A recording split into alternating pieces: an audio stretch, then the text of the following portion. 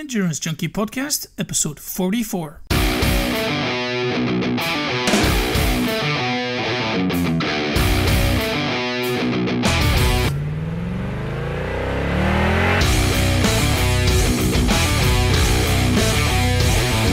Hey, Junkie, welcome to another episode of the Endurance Junkie Podcast, the show where I will be interviewing some of the fastest, smartest, and most inspiring people active in the endurance world today. Kieran Alger combines a passion for wearable tech with an addition to running. He's an editor in chief at MediaBlaze and the founder of manvsmiles.com. He covers fitness and technology trends for magazines and websites, including T3, Wareable.com, Men's Health, and TechRadar. In April 2015, Kieran will attempt to complete the toughest foot race on earth, the Marathon des Sables. Kieran, thanks for taking the time to chat here today. Now, for those of us who don't know you, can you maybe start off by telling us a bit about yourself and your sporting background growing up as a kid? Yeah, yeah. Thanks for having me on. Uh, I'm 37 years old. I, I, live in London. I'm a I'm a journalist by trade. Um, I've been living in London for about 18 years. Um, before I came up uh, up here, and before I got into running, I was always really a big kind of um, football player, a soccer player. Um, and for most people who will know, if you're a football player, the, the one thing you do in training that you hate doing is is run.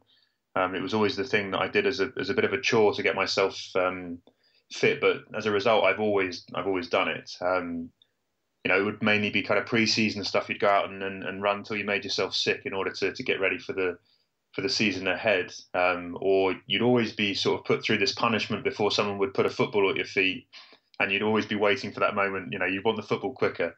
Um, so I've always, you know, I've always known that I can do it. Um, I've always sort of managed to to, to do reasonable distances, um, but I never really took it um, that seriously until maybe four years ago um, when I sort of developed a few knee problems. Um, I found that we we played a lot of football on AstroTurf, and that was causing me problems the day after. So um, someone took me for a for a run. I signed up for a 10k in London. It was the A6 10k, and as part of that, you run a course that flies by the Houses of Parliament here in London, across Westminster Bridge, and past all these kind of um, iconic sites on a beautiful sunny morning. And in that that was my first sort of uh, sampling of the race environment. And all these other crazy people who'd gotten up at um, six in the morning to travel there and, and, get involved. And it was just it was just the, the best morning I'd had in a long time. Um, was a brilliant experience I came straight back from that race and signed up for a, another race um, called the Royal Parks Half Marathon which follows a similar course um, and when I finished that, crossed the line and did what most people probably do after their first half, and thought, I have no idea how anyone can possibly do a marathon. Uh, I was completely spent, uh, broken body, really happy, but you know, broken, broken mentally as well. Um, but went straight home and signed up for the Paris Marathon after that. And then the rest is I, I sort of trained for that, and the, the rest is kind of history. I've never really looked back. I, I think I got the bug um, pretty quickly within the last four years. Hmm. but the, those first couple of races you just did on, on your football fitness.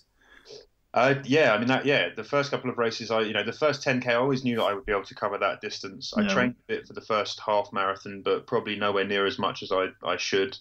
Um, I made all of the the rookie mistakes of, you know, not putting Vaseline in the right places and turning up in the wrong shoes, and um, you know, basically just having to. I'd never I'd never even heard of a of a, of a carb gel or you know considered any of the other stuff that is now so familiar. Um, but it's there's something about the the experience of just being with all those people and the achievement that is I found really really addictive and it's it's it's the challenge you know, the individual challenge which kind of keeps me coming back for more I think yeah the community is pretty important as well and for most of us it's not about uh, winning a race it's really about uh, yeah crossing that finish line and, and seeing if you can uh, if you can do the distance yeah, definitely, and I, I think you know, and then for my first marathon, it was very important to have um, that community angle, to have people who I knew were were going to do the same marathon. So I went to Paris. I tried to get into the London Marathon and, and, and didn't get through the ballot. And friends of mine were going to do Paris, and they invited me along. And I, I remember very distinctly my first um, marathon having a friend of mine, Andy, who who ran me to the halfway point and kept me very honest in terms of my pacing. you know, he wouldn't, he wasn't going to let me go out and, and go too fast. And I left him at the halfway point and ran ran a good strong race and did a 3:43, which I was very happy with. But the importance of having someone alongside with knowledge and experience, like he was a 10-time marathoner, and it was, you know, he's he's one of my best friends, and it was just a joy to to be out there running with him. And and you know you you you have to rely on people I think in, in races and people who, who have the knowledge and who've been there. It's it's really important. Oh definitely. So how many marathons have you done since then? So since then I've done I've now if you count ultras as sort of marathons marathons and ultras together I've done 20 um, since 2009 and uh, your best time I think is now a sub 3 since uh, this year it is, yes, yeah. I did uh, back in April this year. I managed to finally break the the, the sub three barrier and did a two fifty seven fifty six in London, um, which was which is I still sort of hold as my my best running achievement. Uh, really, really uh, amazing day, and Pain- a lot of hard work. Yeah, painful. Uh, do you know what? It wasn't as painful as some of the runs that I've had. I, I recently did the Berlin Marathon in three hours twenty eight, and it, that was far more painful. I, I, went too fast in the first half and didn't quite make it. And London, I knew, you know, I think there's I, when I got to the start line, I'd done the training right, I'd, I'd eaten right, I was I felt confident on the start line. I've, I've actually not had that feeling so many times when it was almost sort of subconscious in my body. I, I kind of felt like I would have to sort of run a bad race. I'd have to make a tactical error if I wasn't going to make it. Um, and that's a it's a feeling which I'm really looking to try and recreate with the way that I train now for the marathon des Sables. And I think it's it is really important that you get to the start line in that kind of uh, in that frame of mind. You know, you there's a there's an inner confidence that you've you've done what you need to do in training, um, and you're going to be able to cope and, and get the result. Yeah.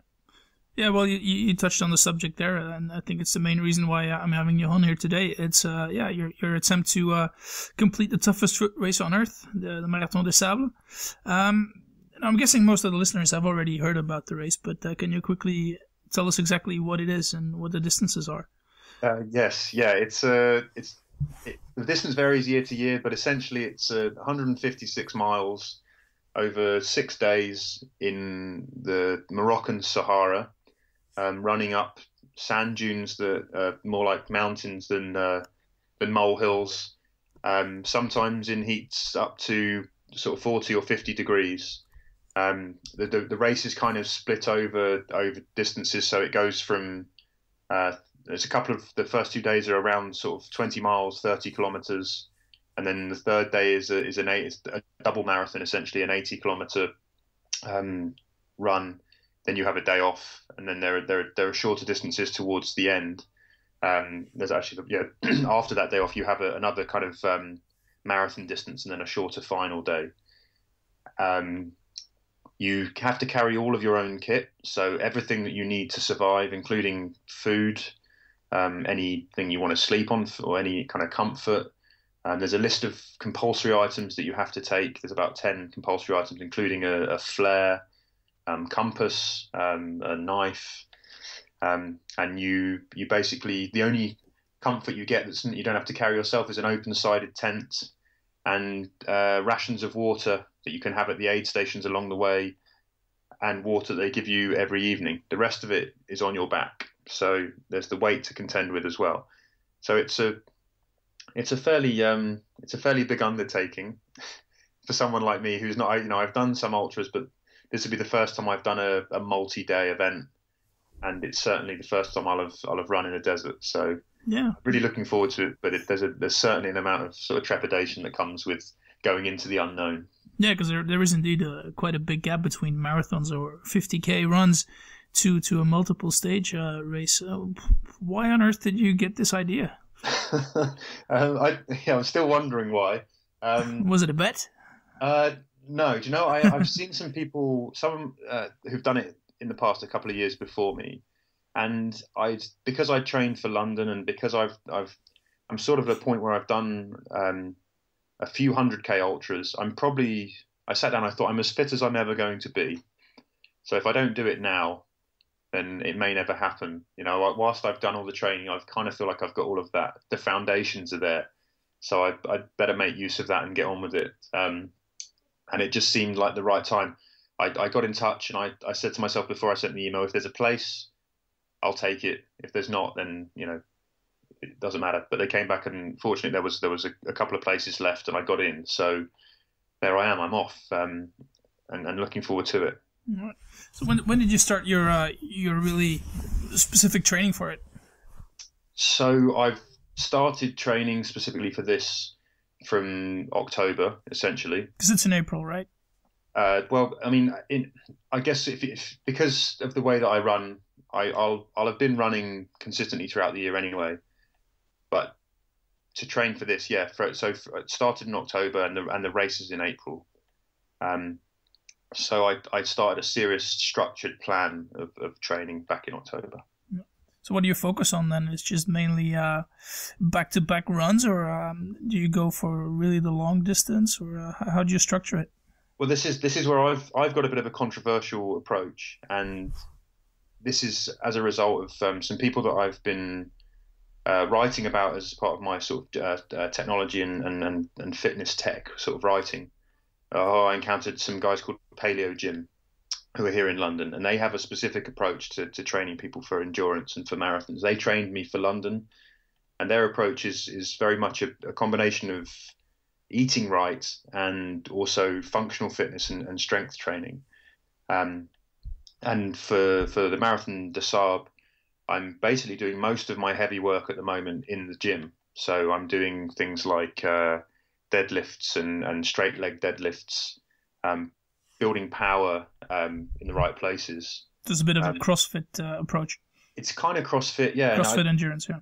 Yeah. So and and and I guess very very targeted um, weight sessions. So looking at you know uh, weighted lunges and, and weighted split squats, um, strengthening my my lower back, uh, but also at the same time combining exercises that strengthen the lower back with ones that will, that will give you strength in the glutes and build power you know, in, in those hamstrings for when you're going to have to be lifting your feet out of that heavy sand or, you know, the sand's going to be falling away behind you as you're trying to find something to push off.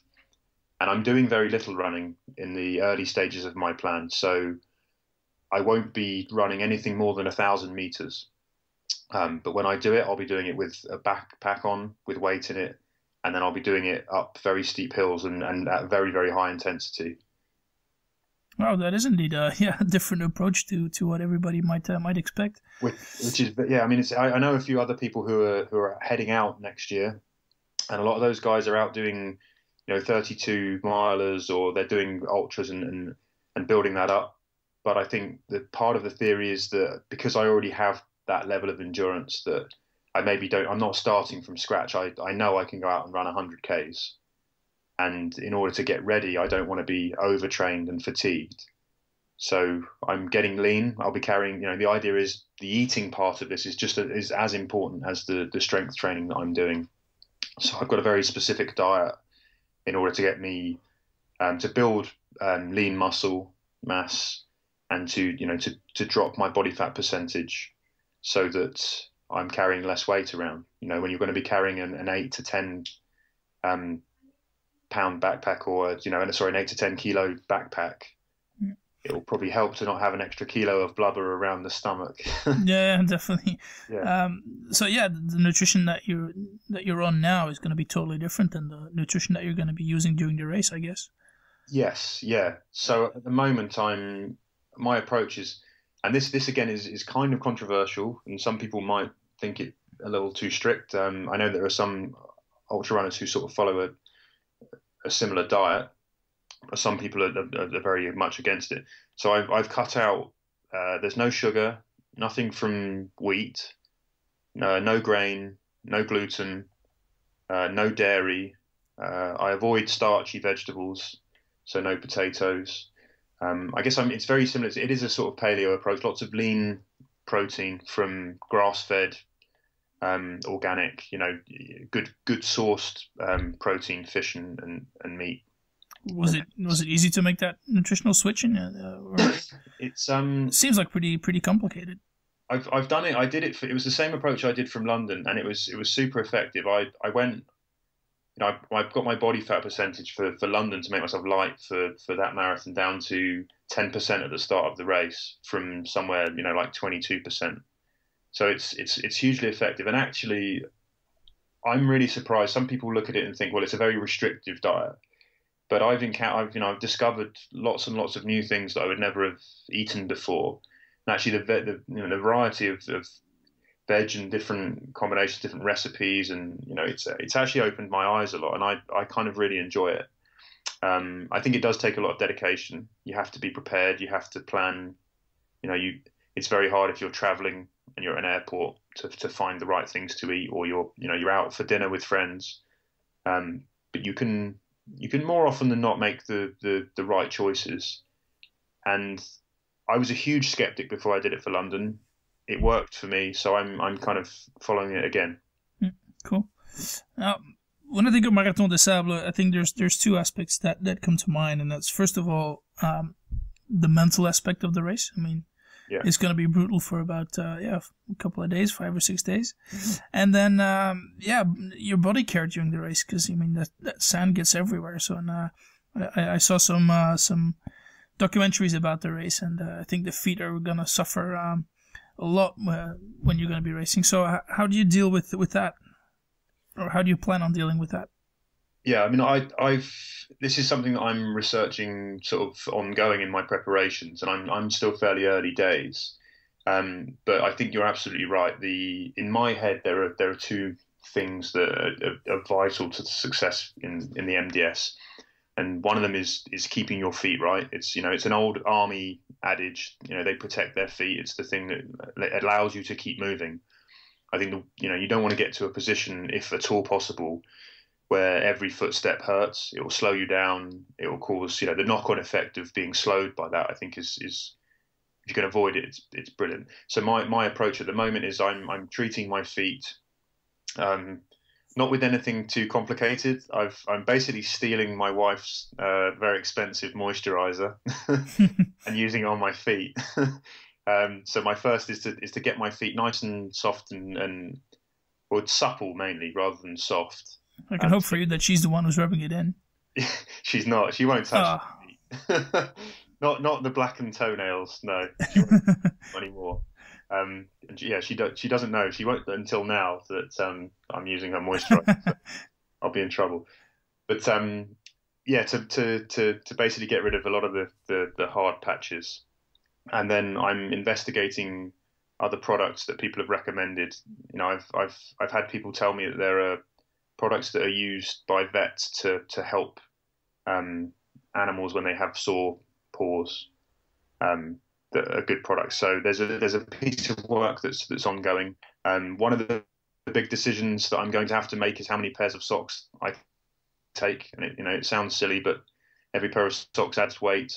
But in my mind, I think I'm going to, I'll, I'll probably leave something else out of my backpack in order to have fresh socks. I've run the password and not changed my socks at key points, and that's you know if there's a bit of sand in there or a bit of moisture, they get wet. That's when the skin starts to slip, and that's when you can find trouble. So I think a fresh, you know, changing my socks regularly um, and fixing problems the minute you spot them with the feet, not leaving them for a for a long time, not ignoring them. You know, if, if the shoe's uncomfortable, stop and, and fix it. Take the five minutes you know, don't risk it. No, definitely. Um, how about the mental aspect? Have you got any plans on getting ready for that? The mental aspect, I do you know one of the things that I'm, I think is going to be hardest for me that I'm going to have to get my head around is the heat, and how the heat is going to affect my my mental kind of my state of mind. I'm not so used to it, um, and I've I've only done a couple of. I did a, a race called the Race to the Stones here in the UK, and it was about sort of 35 degrees. It was very humid, but the heat really, really affects my ability to kind of make good decisions. So, and that's again, that's going to be very, very important. I will. I'm, my plan is to basically give myself little reminders. Um, either have you know an old school stopwatch that beeps with an alarm at certain points when I have to eat or when I have to drink, or have you know certain checks that I do every now and again to make sure that I've got getting the right amount of water in and the right amount of food. And then I, I think you know I'm I'm pretty tough, but I've got little tricks like you know there are times if if I'm really struggling, I find you know you put you crack a smile for five to ten you know meters, and it can help you get over that that that negativity. and also you've just got to be very very kind to yourself. I think it's it's very easy out there to beat yourself up when you feel like you're running badly or you're moving slowly or you know you've you've you've had to walk again, and I, you've you've got to forgive yourself and say you know it's okay and it's fine and you're you're doing well and just keep pushing forward. Um, so I, I do have some of those sort of mental tactics that I've used in the past that I think come in very handy. Yeah. All right.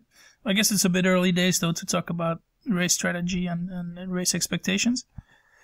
I've yeah, I'm I'm again I'm debating how to approach it. So there's two camps. You know, some people go to race, some people just go to finish.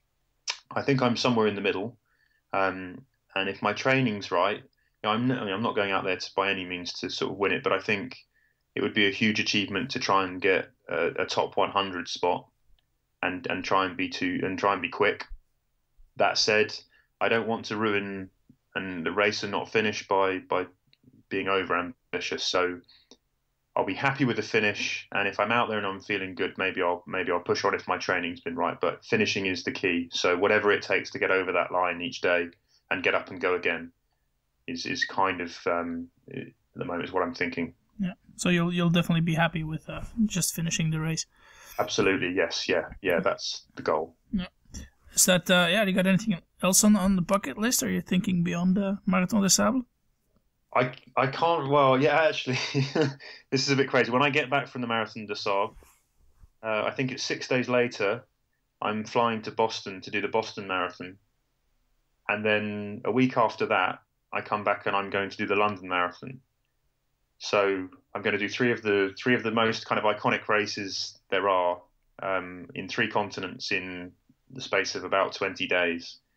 Um, mainly because I've quite qualified for Boston in London, and it's so it, I may never be that fast again. I may never qualify again, so I feel like I have to go and do it. Yeah.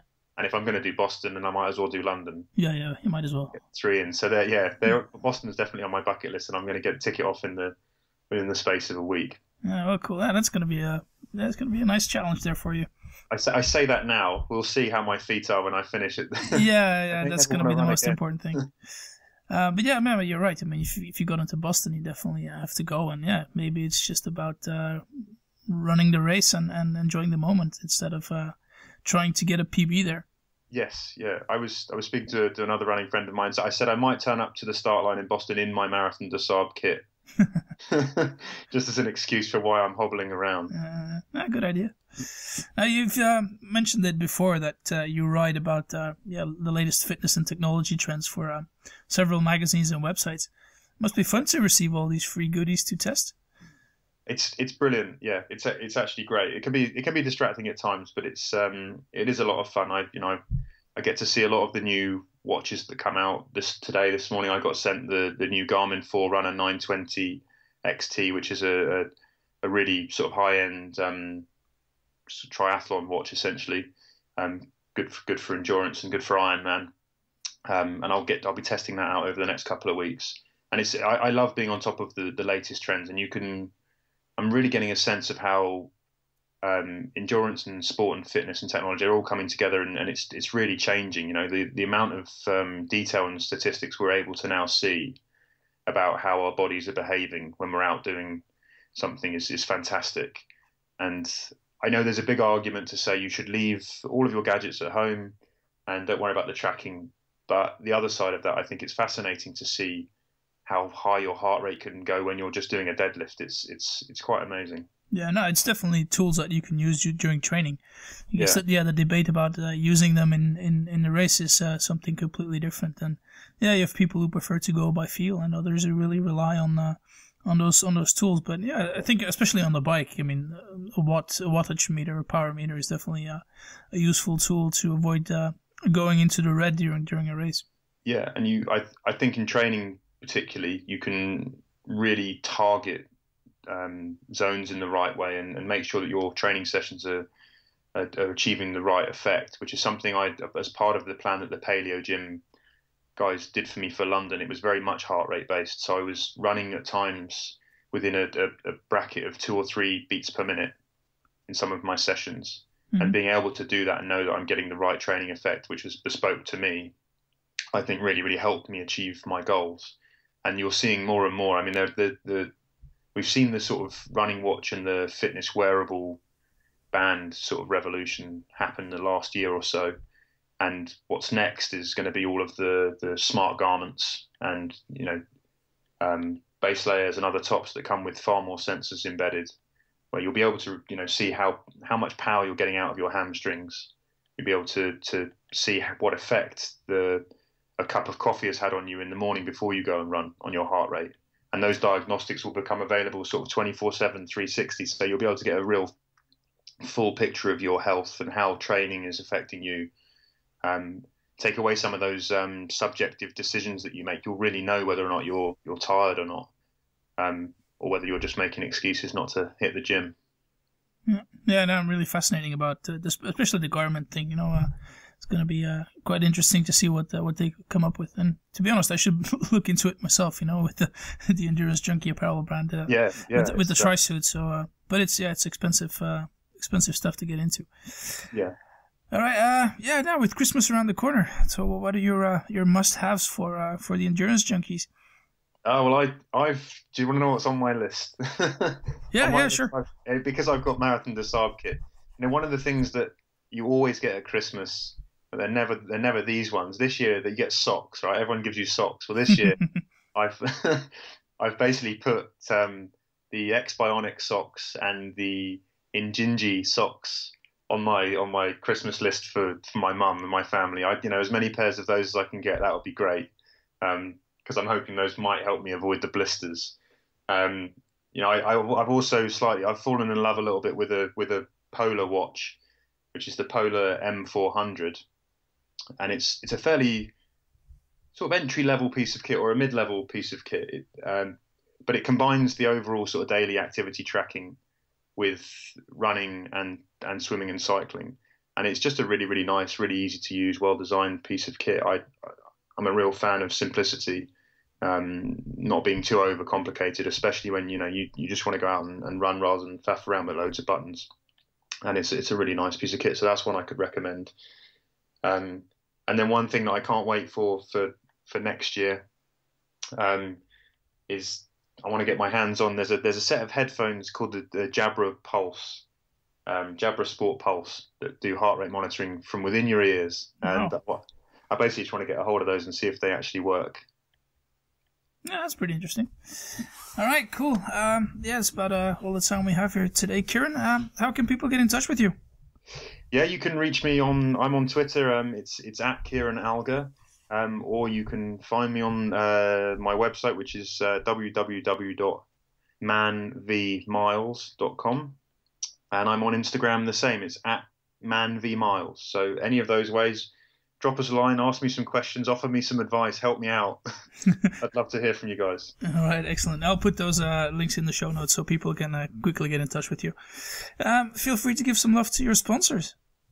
Yeah, I mean, it's a big. Uh, I've, I've, mentioned them already, but the the, the paleogym.co.uk, those guys have a wealth of information for endurance uh, junkies and, and, and, people out there trying to achieve goals and, and hit objectives. So again, have a look at their site, get in touch with them. They're, they've been a brilliant help, and I, I couldn't recommend them highly enough. All right. Anything else you want to plug? And no, I think that's that's it. That's right. good for me. All right, excellent. Well, uh, all the best with uh, with your preparation, and uh, yeah, maybe we should hook up hook up again uh, after uh, yeah the trifecta there, the Marathon des Sables, uh, Boston, yeah. and London. Yeah, I'd love to come back if if I'm still alive. I'd love to come back and tell you how it went. Yeah, well, even from a hospital, but there's a there's possibilities to do a Skype call, so you no problem. Skype from anywhere, yeah. Yeah. All right. Thanks, Thanks for your time, Kieran. Cheers.